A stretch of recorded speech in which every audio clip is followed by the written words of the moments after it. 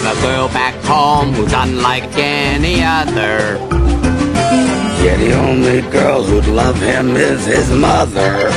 Yo, that one there was a violation. Personally, I wouldn't have.